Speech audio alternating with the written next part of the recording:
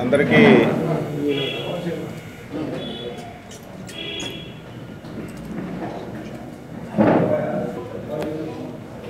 అందరికీ నమస్కారం.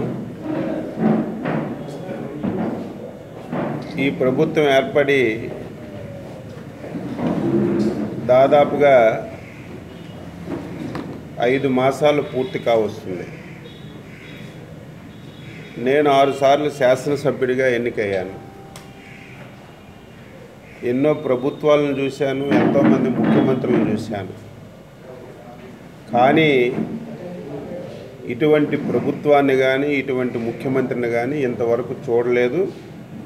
భవిష్యత్తులో ఎవరమూ చూడలేమని చెప్పి నేను భావిస్తున్నాను. ముఖ్యమంత్రి నూట యాభై ఒక్క స్థానాలతో అధికారంలోకి వచ్చాడు.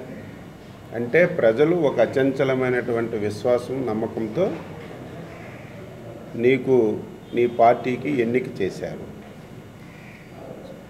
అంటే ప్రజలు నీ మీద ఎన్నో ఆశలు పెట్టుకొని చంద్రబాబు నాయుడు గారు ఐదు సంవత్సరాలు రాష్ట్రానికి ఎన్ని ఇబ్బందులున్నా అభివృద్ధిలో కానీ సంక్షేమంలో కానీ ఏ ఒక్కరికి ఇబ్బంది పెట్టకుండా అన్నీ చేసినా సరే జగన్మోహన్ రెడ్డి వస్తే ఇంకేదైనా మాకు ఇస్తాడు చేస్తాడని చెప్పి ఒక ఆశతో ఓట్లు వేసి గెలిపిస్తే ఐదు మాసాలు నువ్వు ఈ రాష్ట్రాన్ని పూర్తిగా భ్రష్టు పట్టించావు. వ్యవస్థలన్నీ నాశనం అయ్యాయి. ఆర్థిక వ్యవస్థ కుప్పకూలిపోయింది. ఈరోజు లా అండ్ ఆర్డర్ ఆంధ్రప్రదేశ్ రాష్ట్రం ఈరోజు నేరాంధ్రప్రదేశ్గా తయారైంది. దానికి కారణం ఏమిటంటే లా అండ్ ఆర్డర్ని రక్షించవలసినటువంటి పోలీసులు అసలు పని విడిచిపెట్టి తెలుగుదేశం పార్టీ పైన నాయకుల పైన తెలుగుదేశం పార్టీ కార్యకర్తలపైన కేసులు పెట్టడానికే దృష్టి పెట్టారు తప్ప రాష్ట్రంలో లా అండ్ ఆర్డర్ని మెయింటైన్ చేయడానికి ఏ పోలీస్ అధికారి కూడా దృష్టి పెట్టకపోవడం వల్ల ఈరోజు దేశంలోనే మన రాష్ట్రం నేరాల్లో అగ్రస్థానంలో ఉంది. అది నేను చెప్పడం కాదు. ఈరోజు ముఖ్యమంత్రి బ్రహ్మాండంగా ఈ రాష్ట్రంలో ప్రవేశపెట్టినటువంటి స్పందన కార్యక్రమంలో ఈరోజు ఎక్కడికి వెళ్ళినా సరే లాండ్ ఆర్డర్ మీద ఎక్కువ కంప్లైంట్స్ వెళ్తున్నాయి. భూ కబ్జాల మీద ఎక్కువ కంప్లైంట్స్ వెళ్తున్నాయి. ఈరోజు రాష్ట్రం ఈ రకంగా తయారవ్వడానికి కారణం ఈ ప్రభుత్వం అని చెప్పి మనందరం కూడా ఒప్పుకోవాలి. ఈరోజు అసలు ప్రభుత్వానికి కానీ అందులో ఉన్నటువంటి మంత్రులకు కానీ అవగాహనతో మాట్లాడుతున్నారా? అవగాహన లేకుండా మాట్లాడుతున్నారా? అసలు పది మంది సమిష్టిగా ఒక దగ్గర కూర్చొని రాష్ట్రంలో ఏమి జరుగుతుంది? రాష్ట్ర పరిస్థితులు ఏంటని మాట్లాడుకున్నటువంటి సందర్భాలు కూడా ఉన్నట్టు నాకు అనిపించడం లేదు. ఒక మంత్రి అంటాడు ఈ ప్రభుత్వం వచ్చి ఐదు మాసాలు అయిన తర్వాత ఈ రాష్ట్రం ఆర్థికంగా నష్టపోవడానికి చంద్రబాబు నాయుడు కారణం అంటాడు.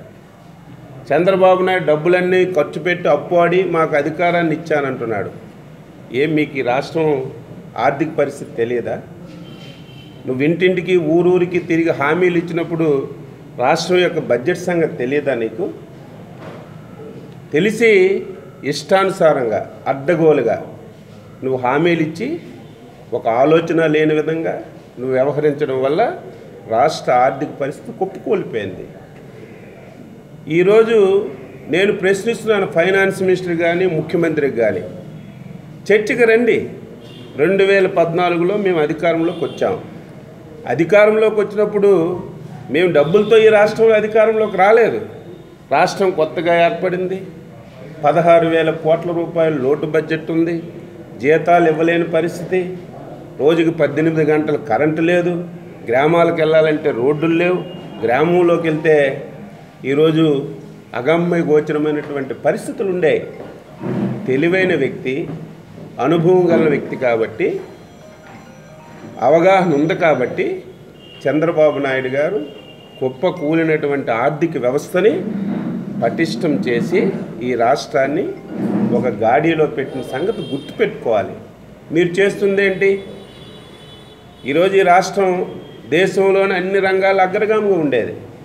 ఈరోజు ఐదు మాసాల్లో చూస్తే తిరోగమనం దృష్టిలోకి వెళ్ళింది. దేనికి? ఏ పని మీరు మంచి పని చేశారు చెప్పండి. ఈరోజు ఇసుకుంది. ఇసుక ముప్పై నాలుగు డిపార్ట్మెంట్లకి అవసరమైనటువంటి మెటీరియల్ ఏదైనా ఉందంటే ఇసుక. ఇసుక మనకుంటే దాని మీద ముప్పై నాలుగు డిపార్ట్మెంట్లు పని చేసుకోవడానికి అవకాశం ఉంటుంది. ఇరవై లక్షల కుటుంబాలు ప్రతిరోజు పని చేసుకొని జీవనోపాధి పొందడానికి అవకాశాలు ఉన్నాయి ఈరోజు నీ నిర్వాహం వల్ల నీ నిరంకుశత్వం వల్ల ఈరోజు ఇసుక ఎక్కడా దొరకటం లేదు.